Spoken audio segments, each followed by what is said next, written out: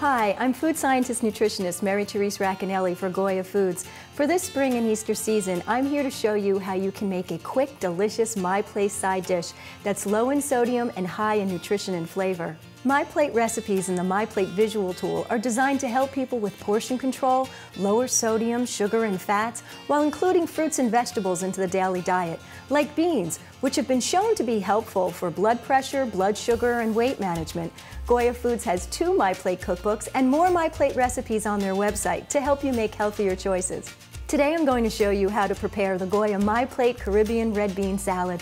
This recipe is perfect for any holiday when you want something that looks great, tastes great, and quick to save you time in the kitchen.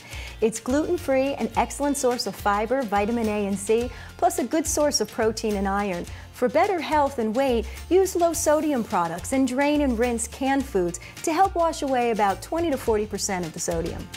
We start with a six ounce bag of pre-washed baby spinach set aside in a large bowl.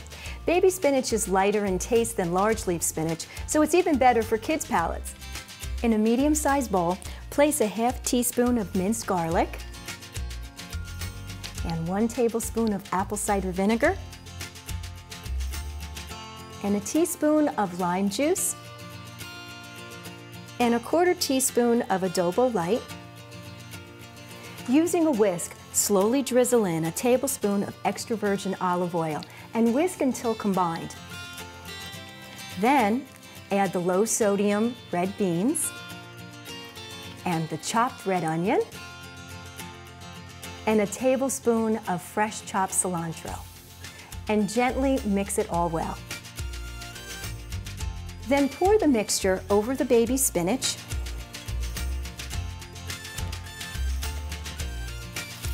and mix it well. And here's the finished dish. It's so easy to prepare. To make this a complete My Plate meal, serve this along with one serving of grilled meat, fish, or poultry, a serving of grain, fruit, and a serving of low-fat milk of choice. For this and other delicious Goya My Plate recipes, go to Goya.com and click on the Nutrition tab. And remember, if it's Goya, it has to be good. This cooking segment is sponsored by Goya. If it's Goya, it has to be good.